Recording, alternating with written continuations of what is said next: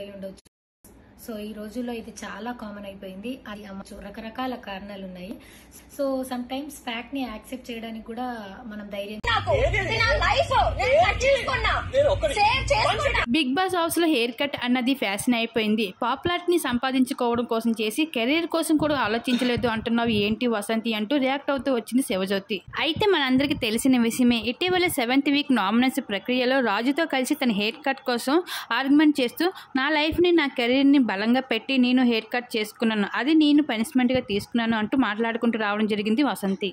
అయితే దీప్తి సునాయంతో మొదలైన hair cut challenge Shivajyothi Dethadi Harika వరకు చేరుకుంది. ఇప్పుడు ఫోర్త్ హెయిర్ కట్ ఛాలెంజ్లో ఇప్పుడు మనకి వసంతి కూడా చేరిపోయింది ఆ క్లబ్ మెంబర్లో అయితే ఇదే విషయం పైన వసంతి తన కెరీర్ను వదులుకొని తన హెయిర్ కట్ చేసుకున్నాను అంటూ మాట్లాడడంతో ఇదే విషయం పైన శివజ్యోతి గాడ్డుగా స్పందిస్తూ రావడం జరిగింది. హెయిర్ కట్ చేసుకోవడం ముద్ర ఎప్పటికీ ఉండిపోయే పాపులారిటీని సంపాదించుకోవడానికి ఒక అవకాశం చేరుతుంది.